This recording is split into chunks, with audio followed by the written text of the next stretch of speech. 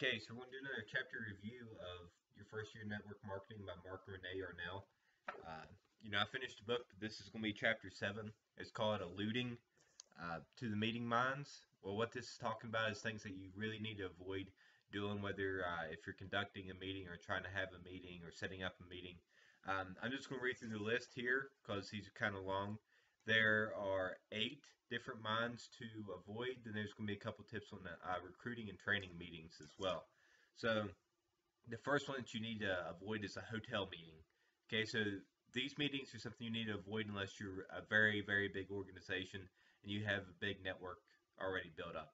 Because if you go to hotel meetings, set up hotel meetings, uh, chances are there's going to be a lot of no-shows that go there, and it's not personal by you having this, your you know prospects think they have to have hotel meetings as well. And that's most certainly not true. All right, so number two is uh, setting up meetings that act like a part-time adult daycare, which meaning uh, like you're doing all the work for your new prospects, your new members. You're doing actually everything for them, and they never learn. Okay, so that defeats the points of network uh, network marketing. It's all about personal development and building your own business, not having somebody else build your business for you the church service. It's pretty much the same thing.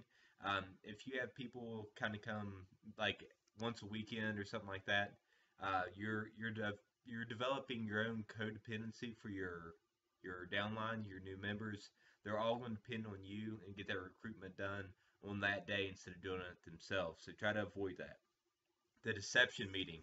This one would really make me mad if somebody did it to me. So you never ever want to do this the deception meeting is like telling a bunch of friends, hey, let's have a dinner party. So after your dinner party, you're like, oh, you know, surprise, it's actually a business meeting. Or have a pool party and say, oh, surprise, it's a business meeting. It's fine to tell people that you're having like a dual purpose uh, get together. Say, hey, you know, we're going to have a business meeting to start out with, but we're going to go to the pool after if you'd like to join, or vice versa. You can say, hey, we're going to have a pool party, but after everybody shows up, uh, we're to go ahead and transition to a business meeting if you're interested in coming. There's nothing wrong with that. As long as they know it's coming. All right? The office meetings. If people think that uh, once they get big in the business, make a lot of money, they have to have their own office. And once again, this is not personal. This gives a false image of what network marketing is. If you have an office, the people that come to your office think that they have to have an office as well, which most people can't afford. And it's not duplicatable within your downline. So avoid that one as well. Six is a bar restaurant meeting. Don't ever do it. it. There's way too many distractions from the bartenders or or people shooting pool or whatever it may be. Make it more personal. Just do house meetings.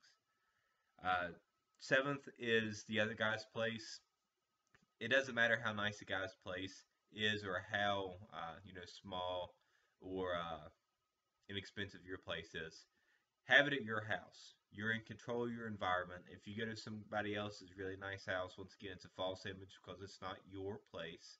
And two, uh, you know, they're kind of in control. What if they have kids? What if they have something else going on?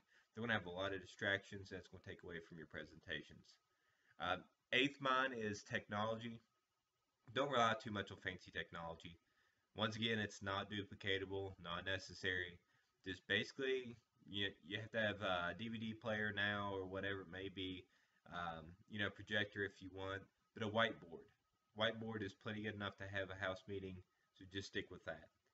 Uh, recruiting meetings, uh, anytime you have this, the best ones are ones that you that are very simple and that are duplicatable. If it's not duplicatable, nobody's going to do it because they know they can't. Uh, they talked about a guy in here that had a humongous yacht, like an enormous yacht, millions of dollars. And he had all of his meetings on there and had catering from his kids that he paid, you know, cocktails, shrimps, all this good stuff. He was recruiting like a machine, but his downline was doing nothing. So the thing is, they didn't have confidence because that guy was having all his meetings on a yacht, and they had no yacht to duplicate that. All right, so whenever you do this, always fully schedule twice as many people that you uh, then you expect to show up because you're going to have a lot of no-shows. Just the way it is, the way life is. It's fine. And uh, training meetings. All right, so it says people within the first hour they retain about 15% of what you tell them because that that first hour is very important. Okay, If it goes to two hours, they'll retain 10%. If it goes three hours past, they'll retain 5% of the information that you tell them. That's all that's going to stick with them. So their, their suggestions in here have two meetings, 10 minute break, a 50 minute meeting, 10 minute break, 50 minute meeting, okay?